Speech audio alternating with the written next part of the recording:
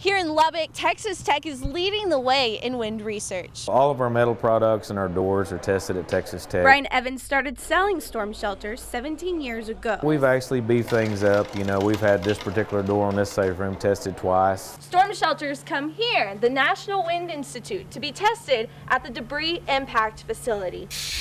They're the leading entity for storm door testing. Researchers are using this cannon right here to test the impact that tornadoes have when debris is hitting your home. The man behind the force of air Three, two, one. blasting out of the pneumatic cannon is research assistant professor Larry Tanner. What we do, there is a, an air tank back there. We'll put the, the pressure that we need to drive the missile the speed that we want. Coming up with that speed wasn't easy. Years and years ago, it was considered that the, a tornado was about the, the uh, speed of sound. Which is about 600 miles per hour. That's kind of crazy. And after the 1970 tornado in Lubbock, they started looking at structures that had failed, beams and things like that.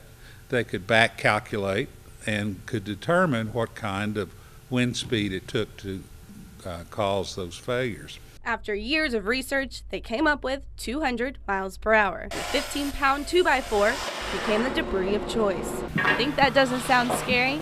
At EF5 speeds. Think again. The debris knocks out windows, knocks out doors, uh, punctures, uh, you know, roof systems. Without the proper shelter, you'll be caught out in the open with debris just like this. The above ground shelter concept, as I said, was developed at Tech.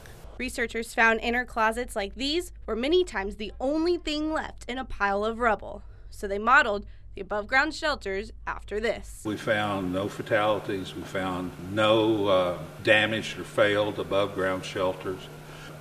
No fatalities or injuries in below ground shelters. We did see some doors blown off. So Texas Tech worked with FEMA to form codes to make all shelters even better. We've got a big deadbolt system. FEMA guidelines require tough hinges and three locking latches, secure enough to withstand this impact.